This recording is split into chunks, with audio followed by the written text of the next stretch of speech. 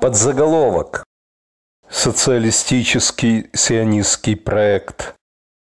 Третий проект – социалистический проект, возникший в конце XIX века. Согласно социалистической мифологии, сионизм создал Беньямин Теодор Герцель 1860-1904, написав книгу «Юденштадт» «Еврейское государство» на немецком языке, изданную в 1896 году. Толчком к написанию книги было дело Дрейфуса, французского еврея, обвиненного в государственной измене. Сам судебный процесс и то, что происходило на улицах, потрясли Герцля, который был благополучным ассимилированным евреем, австрийским журналистом, человеком светским с большими связями в высшем обществе.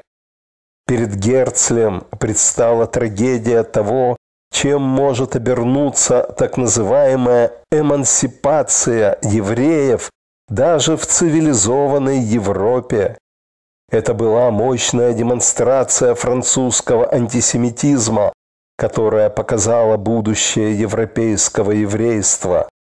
Цивилизованные французы кричали «Смерть еврею Дрейфусу!».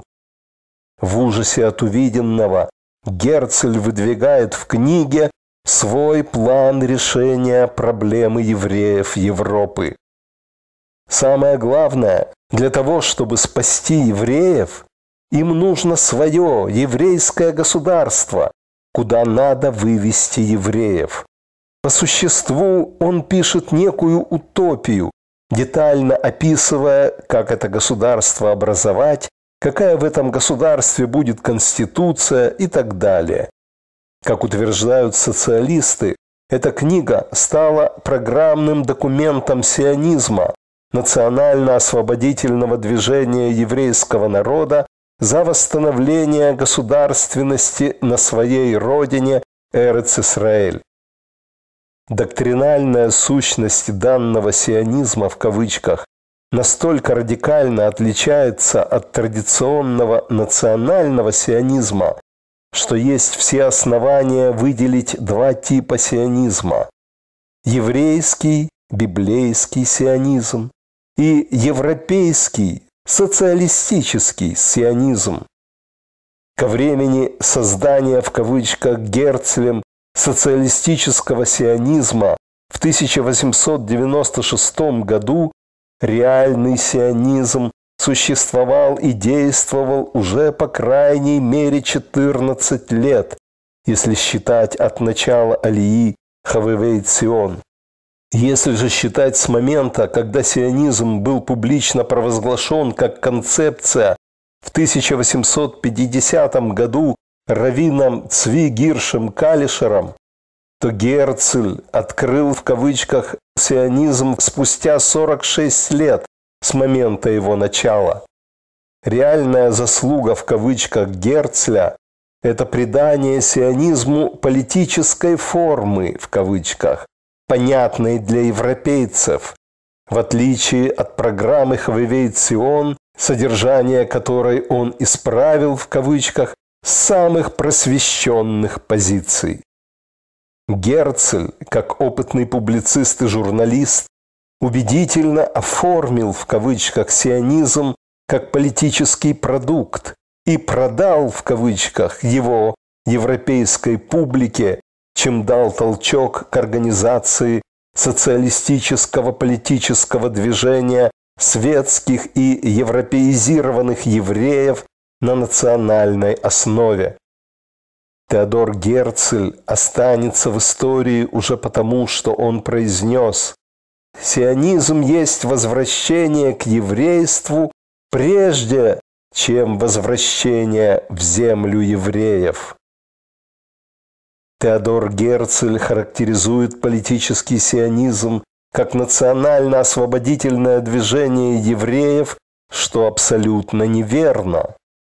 Но при этом он говорит, пусть знает и ведает весь мир, что истинный сионизм – Это нравственное, законное движение, исполненное человеколюбия и стремящееся к извечной цели, составляющей неприходящие чаяния нашего народа, что не вызывает возражений. Однако представления о способах решения проблемы были у Герцеля весьма своеобразными. Так, в первом издании «Юденштаат» даже не упоминается Эрец-Исраэль. Должно быть государство, но где об этом не сказано. Более того, книга обращается в первую очередь не к евреям, а к европейцам и их правительствам. В своей книге «Еврейское государство» Герцель предлагал европейским народам новый способ решить еврейский вопрос и избавиться от евреев, этих ненавистных всем чужаков. Для этого европейцам надо предоставить евреям во владение клочок земли, на котором они могли бы жить как народ. Получив свою землю, евреи не будут больше рассеяны по всему миру. Они не будут докучать народам мира. С этой идеей Герцель начал атаковать общественное мнение Европы и глав государств.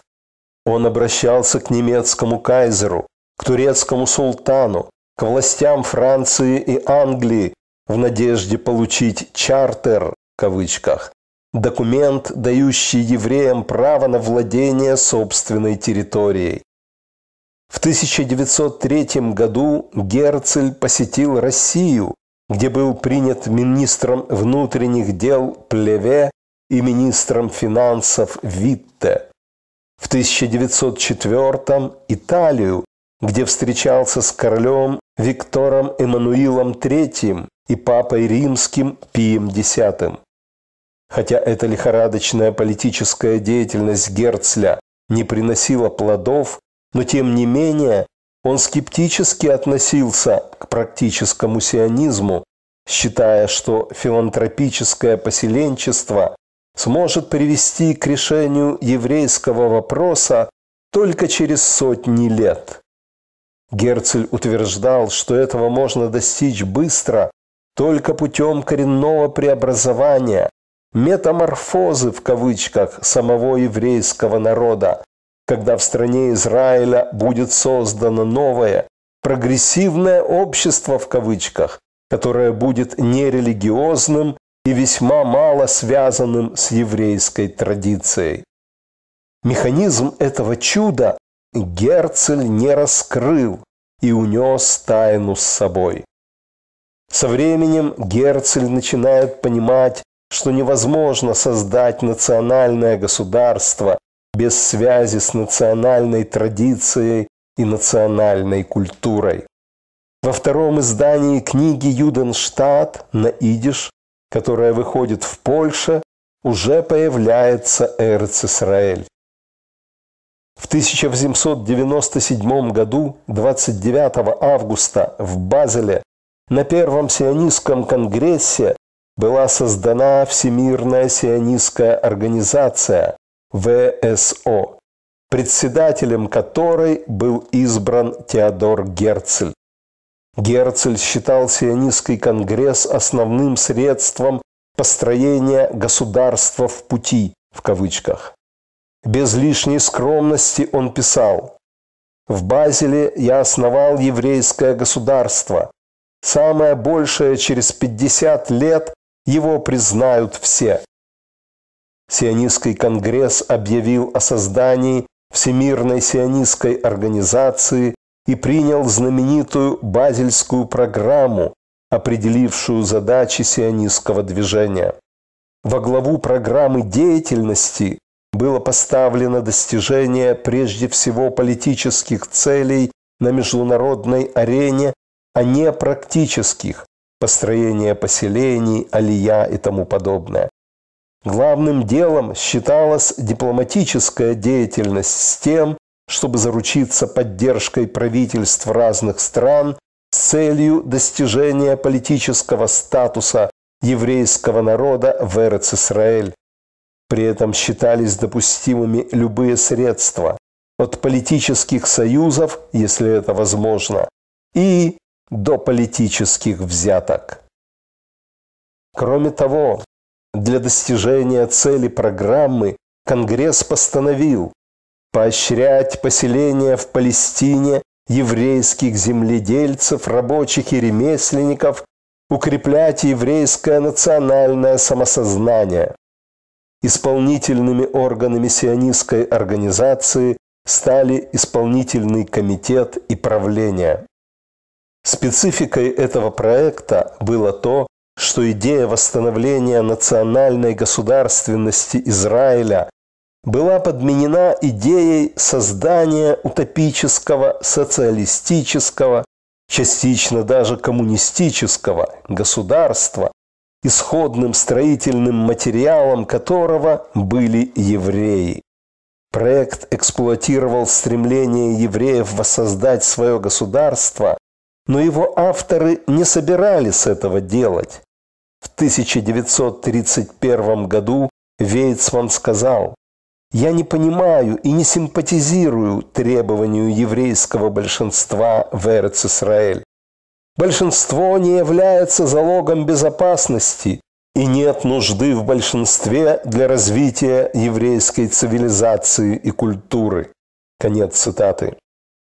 Руководитель Гашомер Гацаир Мейр Яари сказал с трибуны сионистского конгресса, «Мы отрицаем буржуазную идею и мечту о еврейском государстве». А Бен-Гурион сказал, «Мы не согласимся с властью одной национальной группы над другой, ни сейчас, ни в будущем. Мы также не принимаем лозунг о еврейском государстве, который означает еврейскую власть над арабскими жителями страны. Конец цитаты.